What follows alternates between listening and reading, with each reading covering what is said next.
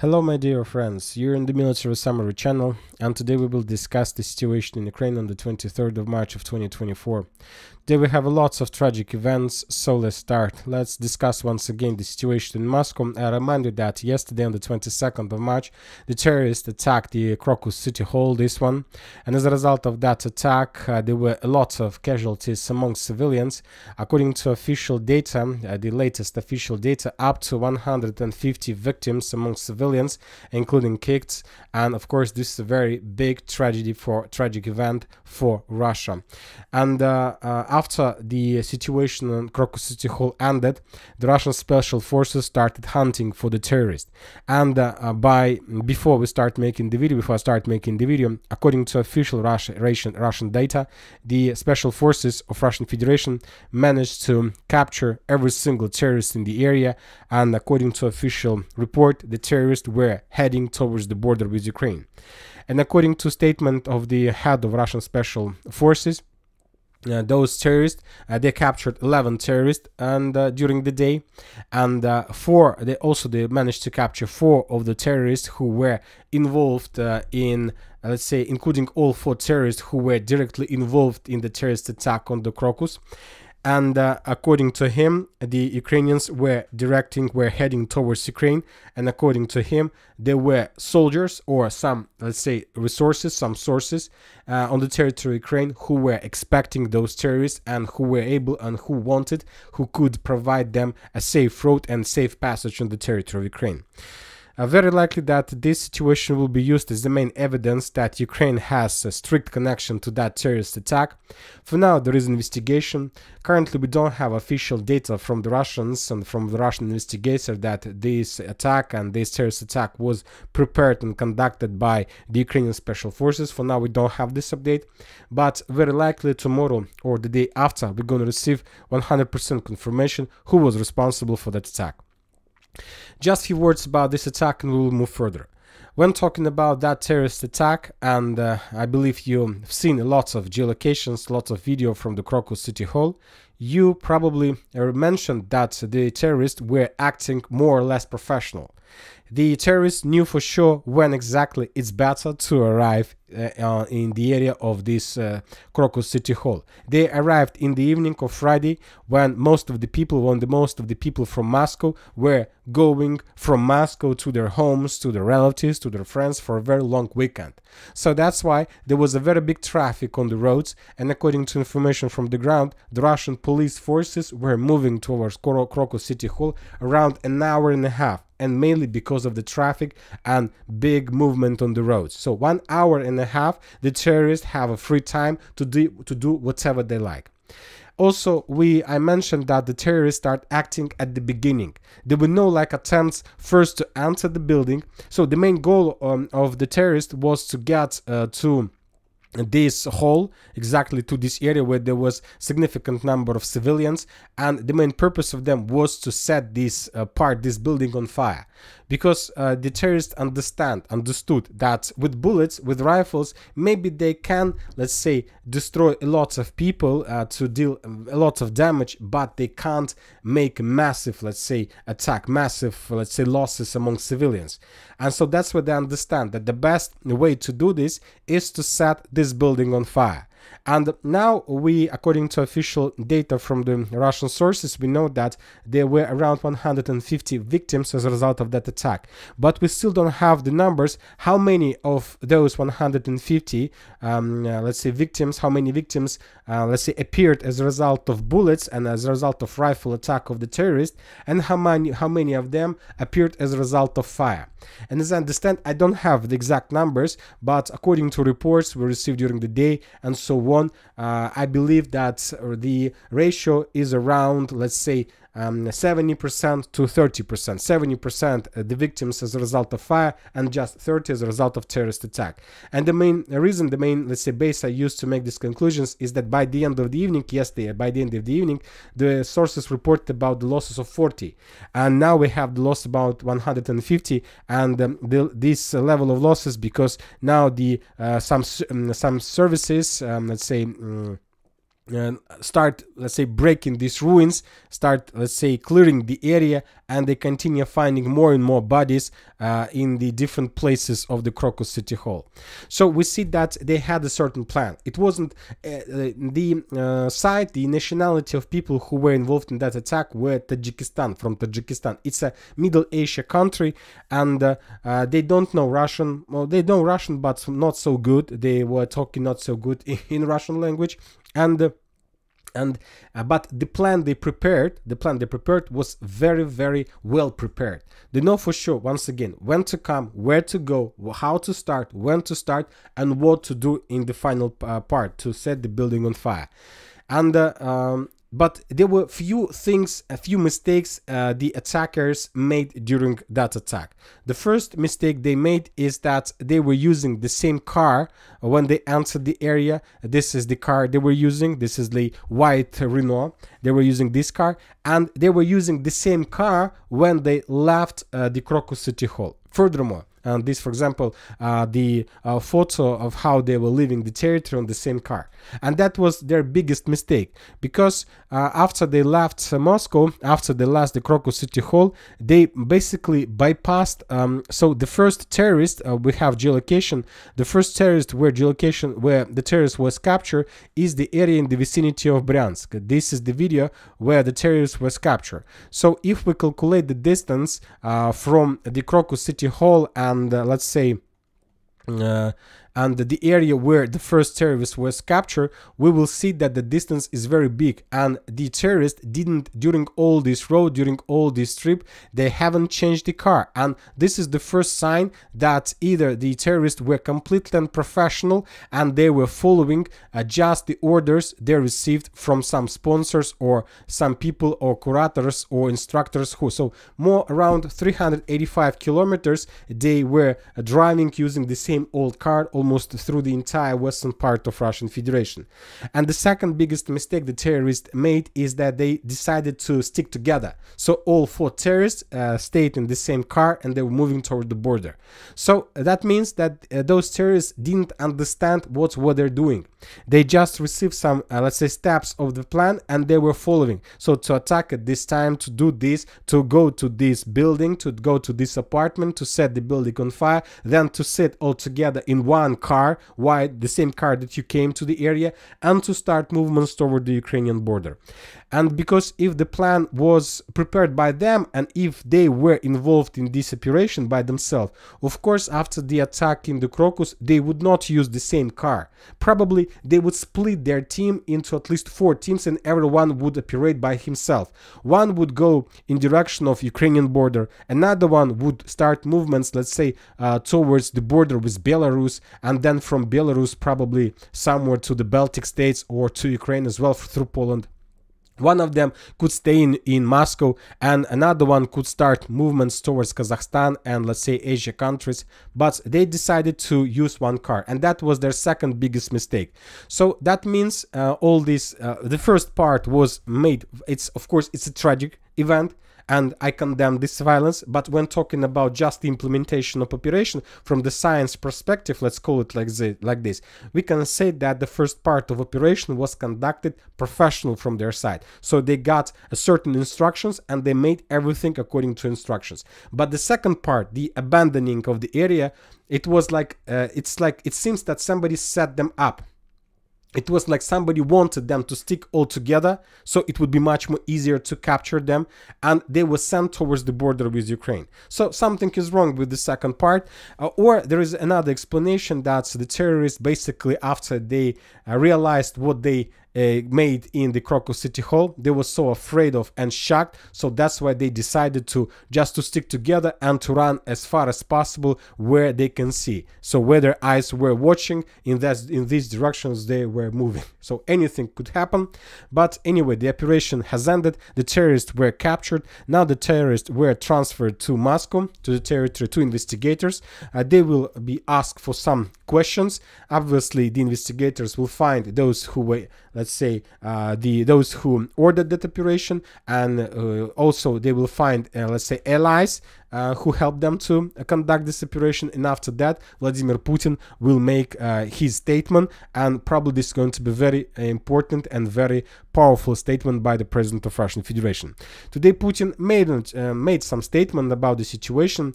Uh, he reported that dozens of peaceful, innocent people were victims of the terrorist attack in Crocus. Putin thanked to uh, the rescue workers, uh, firefighters, and um, rescuers who did everything to save lives. Putin expressed condolences to everyone who lost family and friends, and he declared March 24 a day of national mourning. So, uh, very important statement to unite the nation, to unite Russia, and to move further the next day. Now let's move to the situation on the ground. We have lots of very interesting updates as well, and the most important updates are coming from the village by the name of Ivanovska.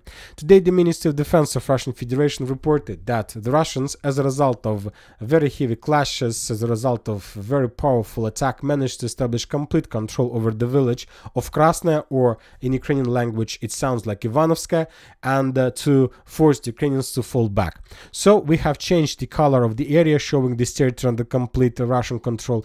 And I'll remind you that just yesterday we discussed that the Russians, as a result of offensive operation, managed to establish control over this hill, the most important hill that Ukrainians used to use to control the situation in Ivanovska, and the hill that was the main headache for the Russians. But uh, and if you remember my words, we discussed that. But because that fact that the Russians captured the hill, we can start counting even maybe minutes of Ivanovska until the complete collapse and complete fall.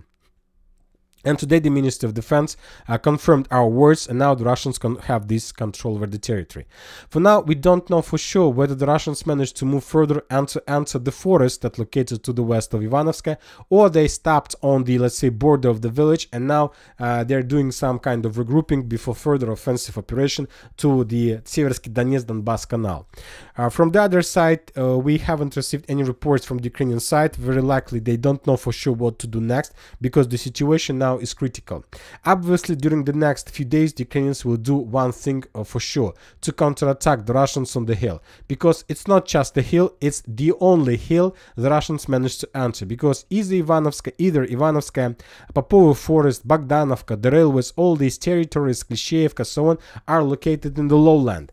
And this hill is the only hill of Chasov Yar hill. So the Russians gained a foothold on the hill. And of course, it's a vital question for the Ukrainians to force the Russians Russians to fall back, fall back even if the Russians captured Ivanovska. So that's why I expect during the next few days the Russians will try to stabilize the area to improve their foothold around the hill and to force the Ukrainians to fall back further inside of the western part of the forest to Chasov Yar itself and so on. And so I, I assume that very likely during the next few days the Russians will try to establish control over something like this. This is the vital question for them for further offensive operation in direction of uh, uh, the Chasov Yar town and further to the west, uh, let's say in direction of Slaviansk, Kramatorsk and Konstantinovka. From the, from the other side, we understand now that Ukrainian positions in Klishevka are very weak.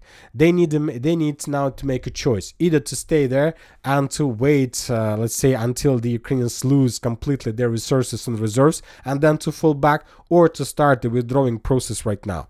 When talking about Ukraine command, of course, they will try to hold this area as long as possible just on purpose to save the time, to save, to win some time, to win some time, and to prepare, uh, let's, let's say, the next defense belt on the Ukrainian side of Seversky Donetsk Donbass Canal. So this is going to be the next, obviously, defense belt in the area, and uh, the Ukrainians will fall back. Uh, for now, I can't tell you for sure when exactly this is going to happen, but probably in a week or even in a two, everything will be resolved in this direction in Russian favor.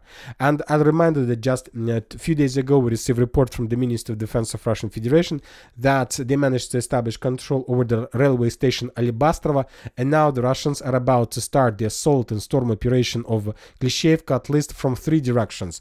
Uh, the first direction is the original direction along the main streets like this one, and a uh, few more directions, uh, one um, of direction from the south, this is it, and the second direction of Russian attack might be from the 215.7 hill. So the question of, there is no more question about Klishevka, just a matter of time. And um, also, for now, we don't have and we don't know for sure what the Russians are planning to do with Bogdanovka, Kalinovka, and Grigorovka. But as I understand, until at least the Russians resolve the issue and the problems with the southern part, I don't think that the Russians are going to make any activities on the northern direction. So probably one or two weeks they're going to be operational pause. During this time, the Russians will resolve this issue and then they will move further to the north.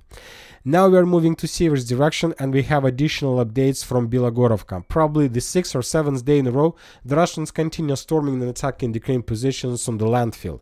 Now, after a few days of clashes during the previous days, after a few ways um, attempts to assault the area with significant number of armored vehicles, I remind you that most of those attacks were repelled by the Ukrainians. The Russians managed to discover the Ukrainian positions, artillery positions, machine gun positions, anti-tank positions, and the previous 24 hours they were clearing this area with FPV drone strikes. After the Russians clear the territory from uh, discovered Ukraine positions, they're gonna make another attack with another significant number of armored vehicles and they will attack once again from the south. Uh, a little bit to the west, also during the previous attacks, the Russians discovered Ukraine artillery positions in the fields between Seversk and Belogorovka, and also during the previous days, the Russians were destroying the Ukraine positions just to clear the area and to ease the further Russian progress and movements. I'm not saying that uh, during the next attack the Russians will, let's say, change the entire situation in their favor. Maybe the Russians still needs additional two, three more attacks in the direction of the landfill uh, that will be obviously repelled by the Ukrainians. But on the fourth or on the fifth attack, the area will uh, will fall and the Russians will break through.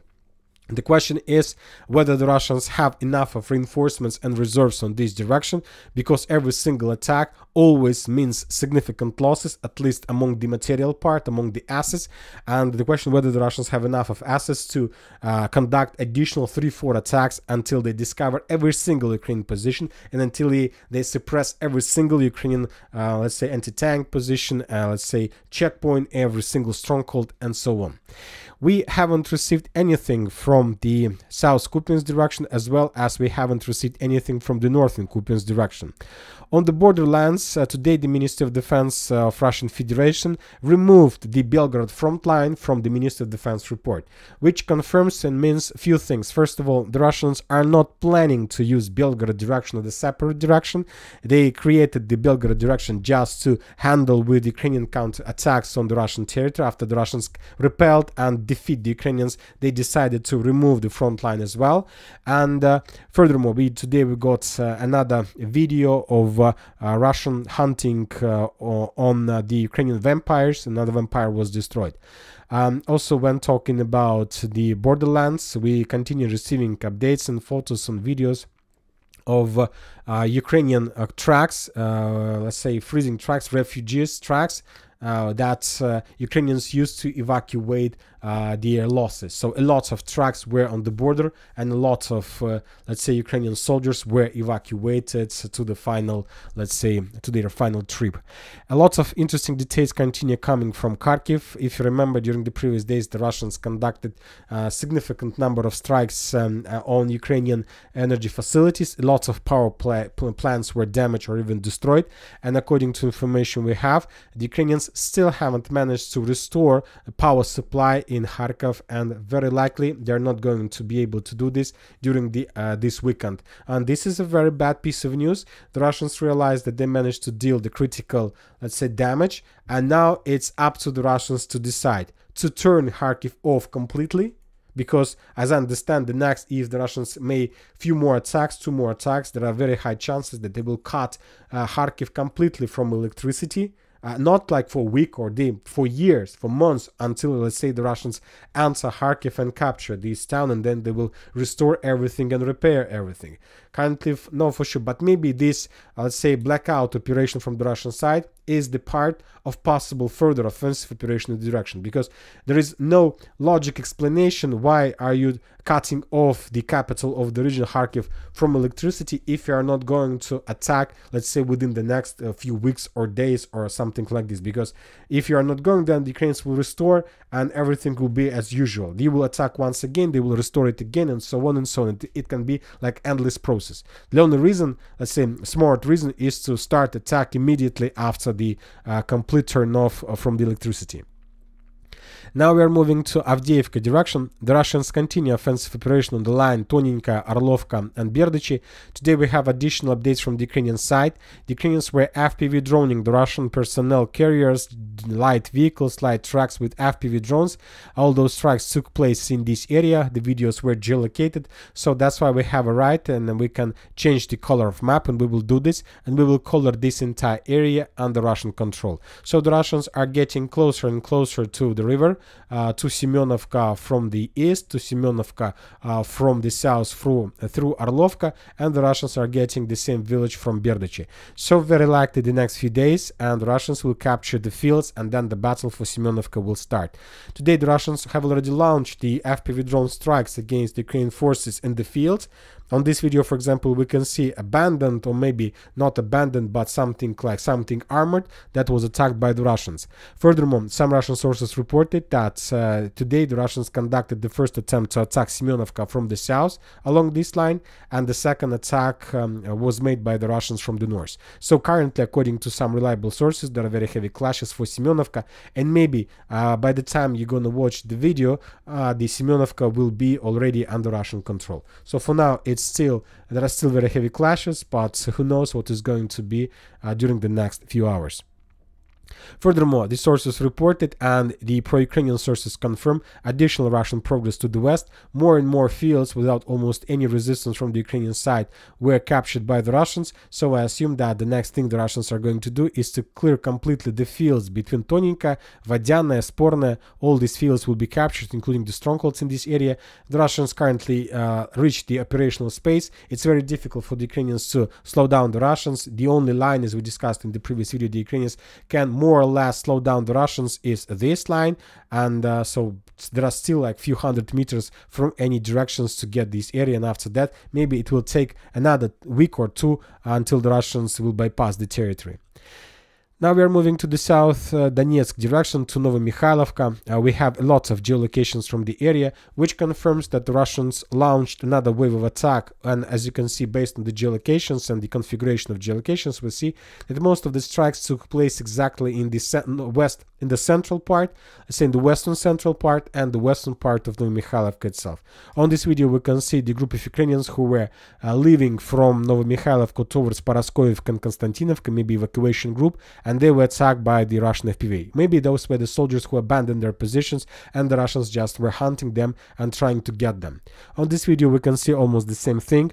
On this video we can see another Ukrainian armored vehicle, very likely who was moving, uh, no, another group of Ukrainian soldiers who also was moving and heading towards uh, from to the north. So from the south to the north, very likely the Ukrainians were moving also in direction of Konstantinovka. So the Ukrainians were moving something like this, and they were attacked. They were planning to move something like this, and they were attacked by FPV drone here.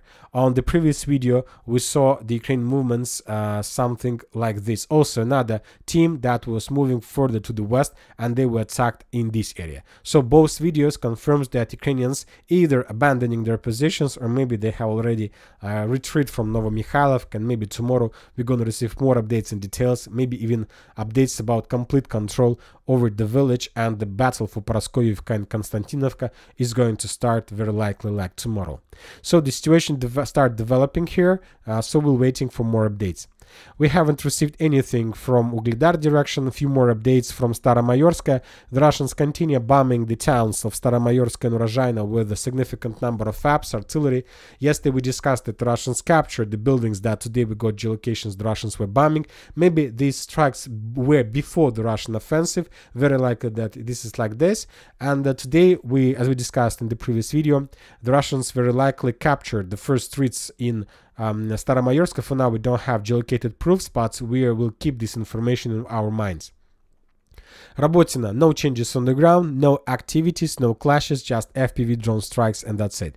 And the same story about uh, Kherson direction, no activity, no changes on the ground, just strikes. The Russians were attacking the Ukrainians, the Ukrainians were attacking the Russians.